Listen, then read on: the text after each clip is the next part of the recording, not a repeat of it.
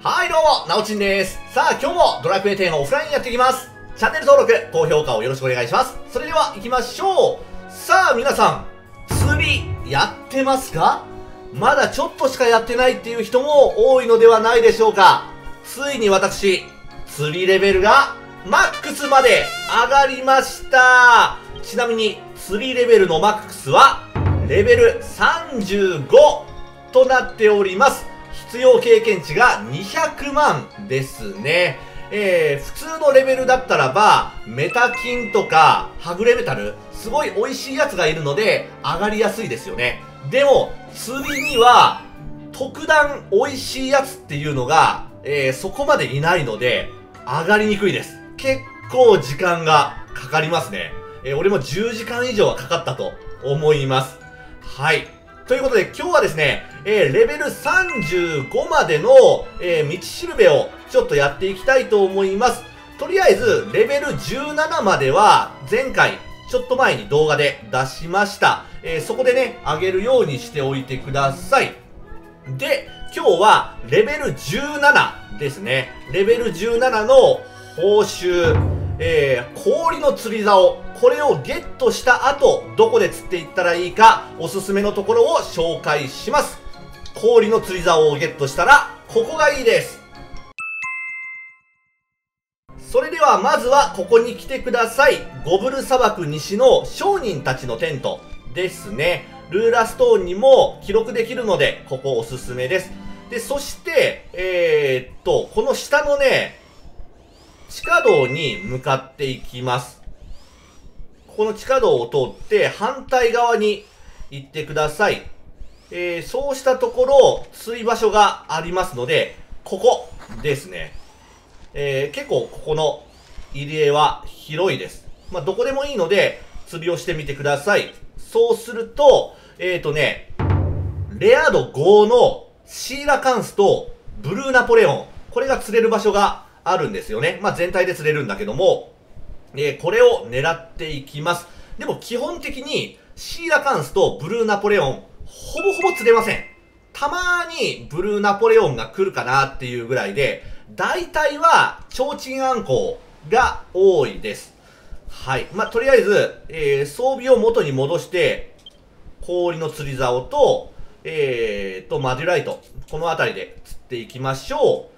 えー、レベル19で天使のルアーが手に入ります。それが手に入ると、さらに釣りやすくなりますね。まあ、それまでは、この氷の釣り竿、活躍しますので、やっていってください。で、釣り方ですけども、えーとね、だいたい120メートルぐらいのやつ以外は逃がしてください。そうしないと、えー、クラゲとか、あとヒラメ、カレーが釣れてますので、あんまり経験値的に美味しくないです。えーと、地面に潜るのはヒラメかカレーですね。んで、120メートル、それぐらい先のやつは、えー、確実に提灯あんこうだと思います。いや、間違いないね。提灯あんこうなので、それを狙って釣るようにしてください。あ、危ない危ない。釣りをする前に、えー、注意点ですね。絶対ね、この元気玉と、えー、食べ物、そして、えっ、ー、と、帽子ですね。は装備しておいてください。そうしないとね、結構、美味しくなくなりますので、あ、危ない危ない。これだね。食べ物と、えー、元気玉。そして、帽子ですね。で、食べ物食べるのは、えー、食べ物何でも食べると、えー、経験値が10%上がります。なので、食べ物も絶対に食べるようにしてください。で、エンゼル棒ですね。はい。これで準備万端です。うん。絶対忘れないようにしてくださいね。経験値が倍以上違いますんで。来たあー、全然来ないな。まあ、こんな感じで、あんまり来ないです。うん。3回に1回ぐらいかな。大物が釣れるのは。大物以外は逃がしてください。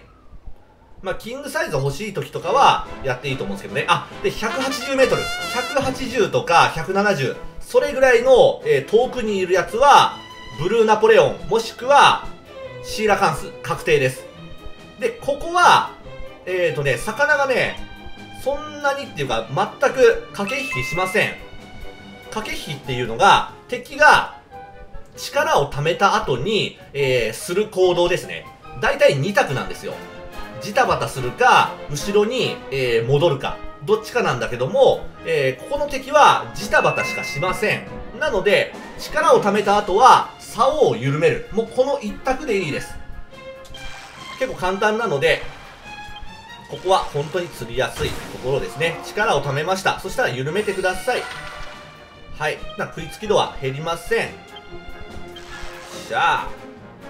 うん。これはね、確実にブルーナポレオンですね。はいはい。もう氷の釣り竿をゲットしたら、もうここで全然釣れるようになるので、いいです。炎だとね、ちょっと厳しいかもしれない。うん。氷の方がいいです。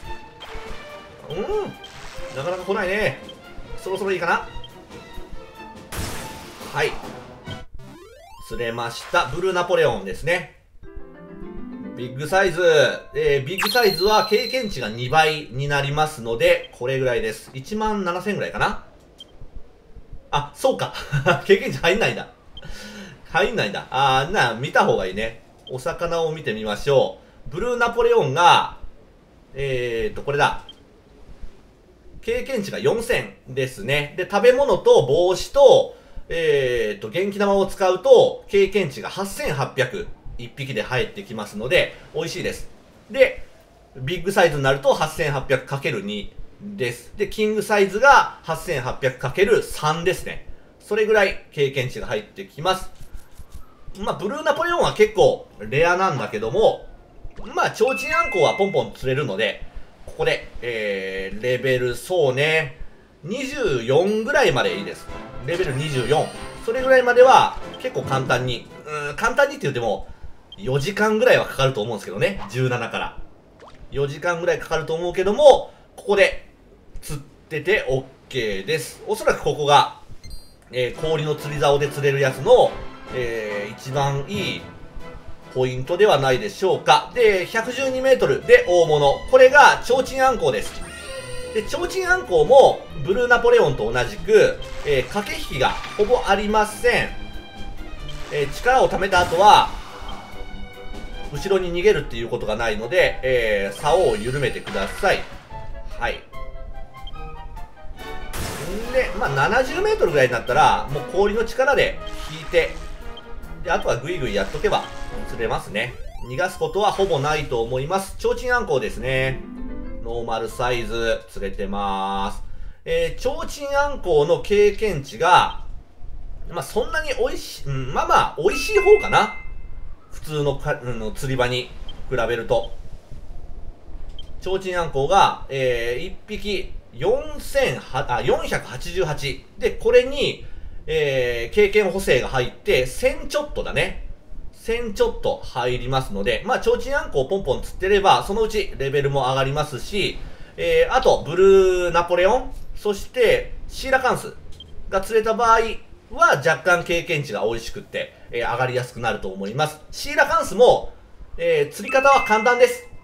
駆け引きはないので、力を溜め出したら、あとは、えー、緩めて釣っていくだけですね。まあ、シーラカンスが一番釣れないです、ここ。シーラカンスほんと釣れないので、うん、まあ、大丈夫じゃないでしょうか。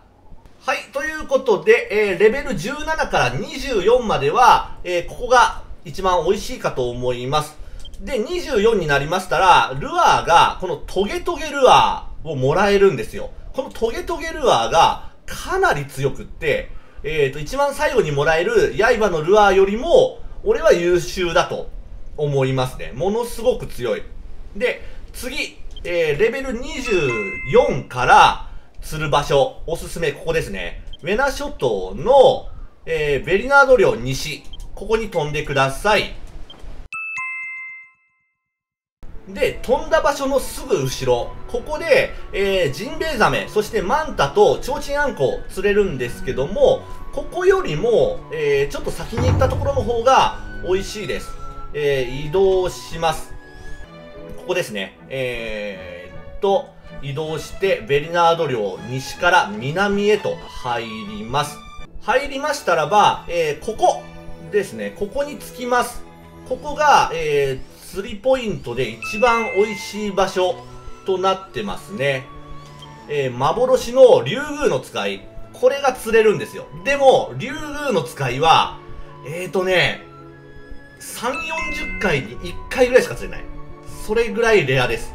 うん。しかもその3、40回っていうのが、えー、ここでも、クラゲとヒラメ、これは逃がしますので、えー、その回数を引いたやつです。なので、100回に1回ぐらいしか食いつかないと思います。竜宮の使いはね、本当にレア。めちゃくちゃレアです。まあ、ここも同じく、えー、大物以外は逃がしていきましょう。まあ、釣ってもいいんだけども、経験値は美味しくないので、えー、レベル上げを急ぎたい人は、えー、逃がしていってください。おー !230! これ、ちょっと待って。竜宮の使いかもしんない。竜宮の使いか、えっ、ー、と、ジンベエザメ。どっちかですね。行きましょ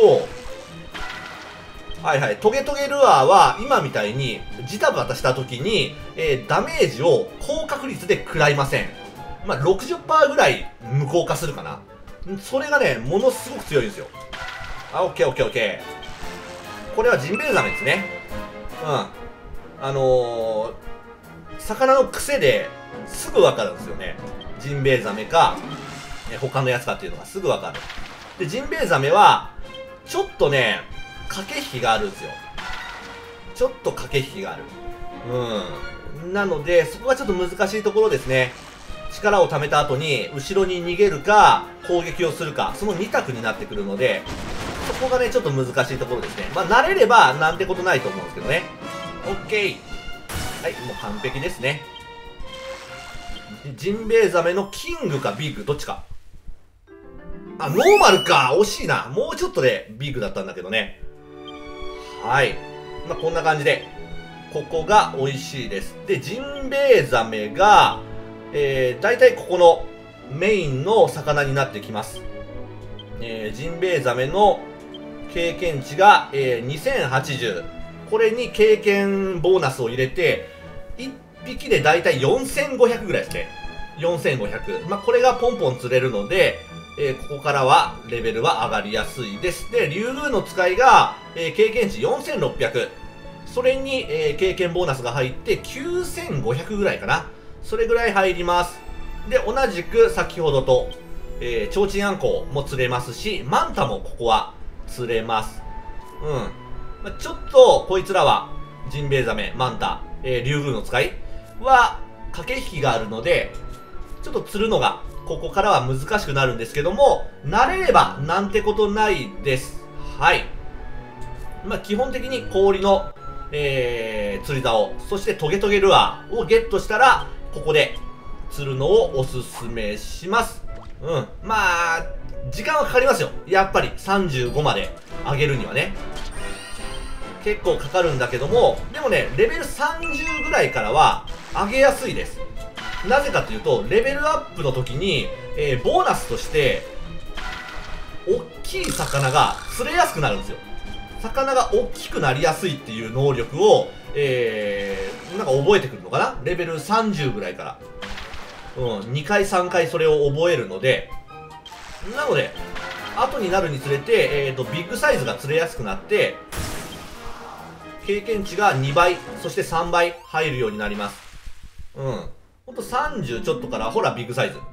普通はね、なかなか釣れないんですよ、ビッグサイズって。もう、30過ぎた頃からは、もうビッグサイズが結構釣れるようになるので。うん。まあ、24から29、それぐらいが結構きついかもしれません。うん。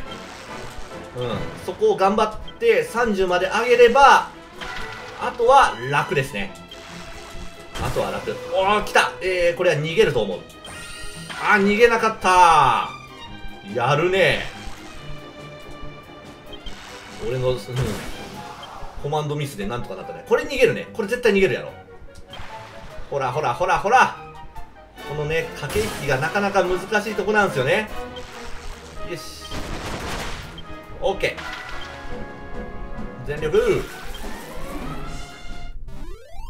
まあ、レベル35なので、えっ、ー、と、引く力とか休める力っていうのがマックスまで上がってるので、かなり引き上げるんですけども、レベル25とかそのあたりで来ると、ちょっとね、苦戦します。はい。なんで、まあ、慣れればなんてことないんで、やってみてください。はい。ということで、えー、レベル24からは、ここですね、ベリナード領南の、ちょっと、えー、変な場所となりますけども、ここがおすすめです。35まで上げることができます。いや、結構時間かかるんですけどね。はい。では皆さん、ぜひ、釣りやってみてください。